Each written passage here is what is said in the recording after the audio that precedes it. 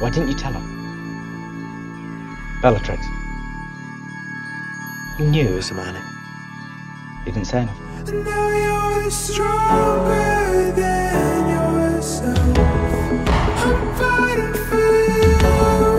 I'm hiding for you.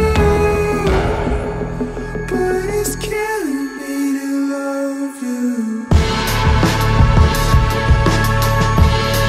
And you must be Miss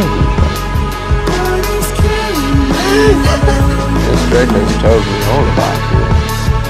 Harry is under the impression Draco Malfoy is now a